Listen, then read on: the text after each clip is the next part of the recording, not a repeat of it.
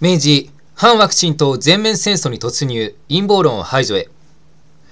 11日に明治製菓ファルマ株式会社が、いわゆるレプリコンワクチンに関して、SNS に科学的根拠のない主張やデマの投稿が相次いでいるとして、X に公式アカウントを開設し、情報発信に努めると宣言されました。こちら、SNS にて、いわゆる反ワクチン、陰謀論的な存在との全面戦争に突入した形になっておりますが、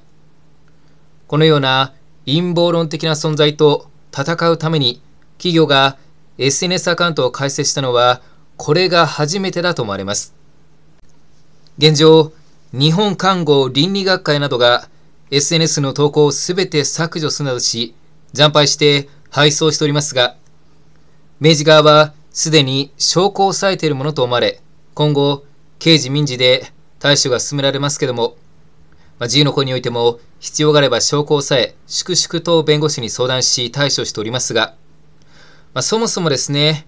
SNS の投稿は削除されても運営企業にデータが残っているため、まあ、実際には削除されておらず、法的には意味がないどころか、証拠隠滅を図ったという事実が生じるため、裁判において不利になるだけでございます。まあ、ぜひとも陰謀論的な存在には速やかに無条件降伏、全面降伏していただくようにお願いいたします。また、明治には